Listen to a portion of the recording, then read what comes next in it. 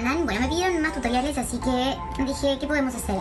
Si les parece, voy a agarrar esta paleta de mm, labiales de Andrea Pellegrino, que está buenísima, que la tengo casi sin estrenar, usé muy poquitos. Para eso voy a usar estos dos pinceles, que son de Sontes. Voy a usar este primero, que es un poquito más chatito y compacto, para poner el, el producto, y después el otro para esfumar. Vamos, arrancar con esto.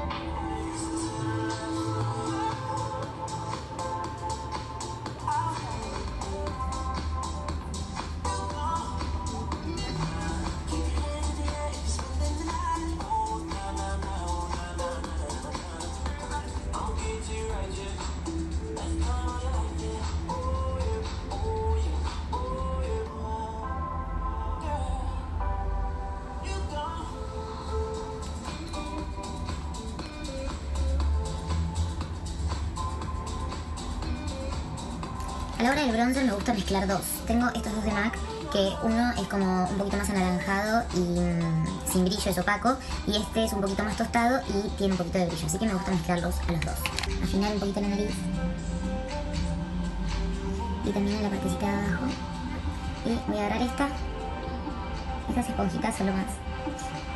Voy a acomodar un poquito las cejas con este delineador para cejas de Rimmel que está bueno. De un lado tiene el retráctil y del otro lado tenemos el cepillito. Eh, primero las peino arriba y para afuera. Ahora con cuidado. Tiki, tiki, poquito para no usar.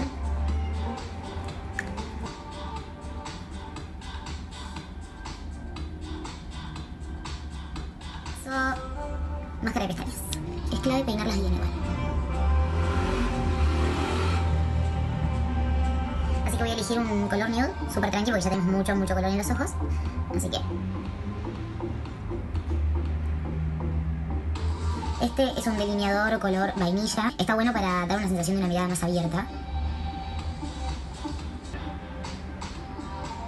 Y por último, me gusta usar esto que lo descubrí hace poco. Es un Insta Fix and Go. Que esto sirve para ponértelo antes de maquillarte, te humecta la piel y como que te la prepara. Y antes de irte, o sea, cuando ya te lo terminaste, para fijártelo. Así que Ahí estamos. Maquillaje terminado. ¿Te gustó?